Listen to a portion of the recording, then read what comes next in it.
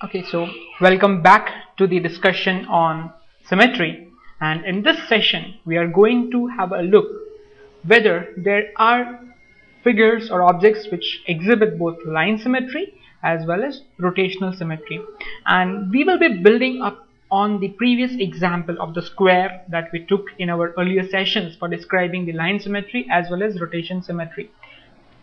Okay so it is definitely possible for an object to have both the line symmetry as well as the rotational symmetry. And you could have easily made this by the earlier examples that we learned about the square that a square has a four lines of symmetry.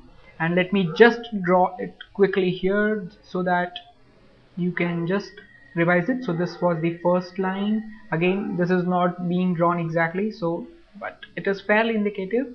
So these are the four lines of symmetry these lines 1 2 3 and 4 so the square had a four lines of symmetry. And we also when we were discussing the rotational symmetry we figured out that it has a rotational symmetry of order 4 that is we take this point P here and rotate this square in angles of 90 degree each and we complete four such rotations of 90 degree each.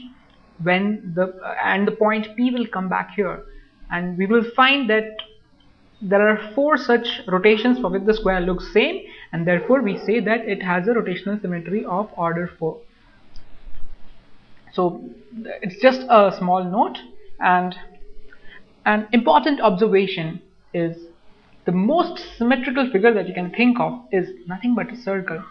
Now just think why is it a most symmetrical figure? What what would be the ideal symmetric figure if you just think of it how can I define that symmetry is ideally? Okay so it would be something like okay we have seen that some figures just have one line of symmetry.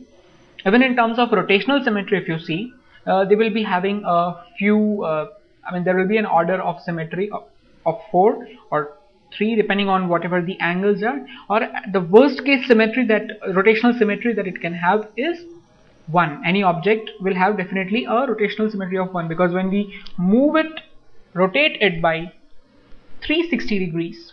If you remember it will come back to its original position and hence every object is said to possess a rotational symmetry of order 1 but the circle is definitely a different case and it's in a very exceptional case.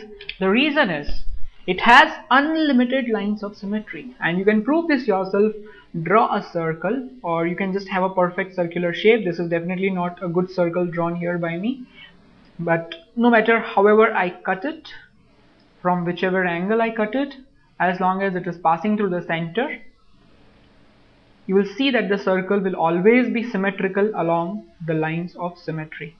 As a thing not only that it also has unlimited order of rotational symmetry along its center which means that no matter how small the angles you would rotate the circle in, it will still look the same.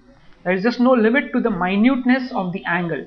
Right? For normal cases, we just take it to be 1 degree, but even if it is less than 1 degree, it's less than let's say 1 hundredth of a degree, but still it will be looking the same. So hence a circle has unlimited lines of symmetry and unlimited order of rotational symmetry along its center. So it's the perfect symmetrical circle. And you can just try to do this by observing any circular pattern.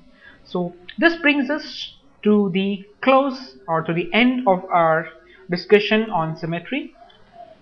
And see you soon in the next session in which I'll be summarizing whatever we have learned